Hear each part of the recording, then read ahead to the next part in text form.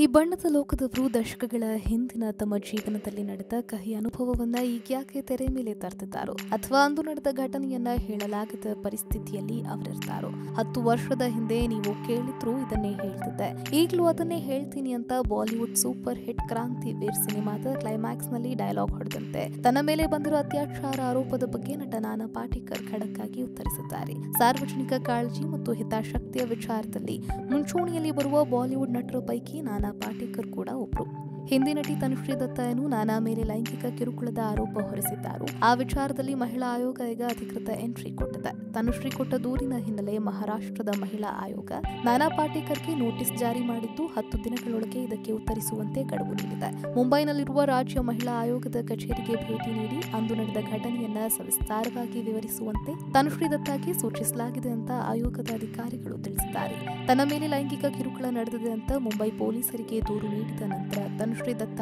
ಮಹಿಳಾ ಆಯೋಗಕ್ಕೂ ದೂರು ನೀಡಿದ್ರು.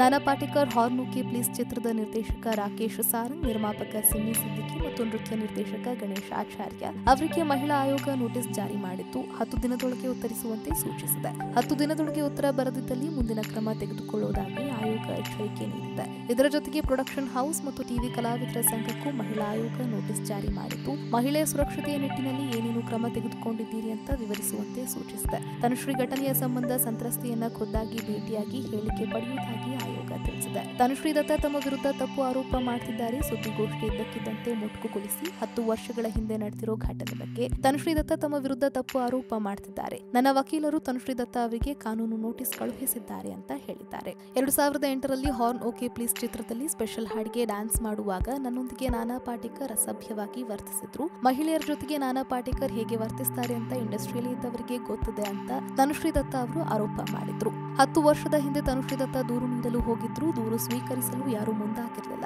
ದಶಕಗಳ ನಂತರ ನಮ್ಮ ದೇಶದಲ್ಲಿ ಸಾಕಷ್ಟು ಬದಲಾವಣೆಗಳು ಆಗಿವೆ. ತನುಶ್ರೀ ದತ್ತ ಕಾನೂನು ಹೋರಾಟದ ಮೂಲಕ ನ್ಯಾಯ ಸಿಗುವ ತನಕ ಹೋರಾಡಲಿದ್ದಾರೆ. ಮಹಿಳಾ ಆಯೋಗವು ನಾನಾ ಸೇರಿ ನಾಲ್ಕು ಜನರಿಗೆ ನೋಟಿಸ್ ಜಾರಿ ಮಾಡಿದ್ದು ಖುಷಿ ತಂದಿದೆ ಅಂತ ತನುಶ್ರೀ ಪರ ವಕೀಲರು ಹೇಳಿದ್ದಾರೆ.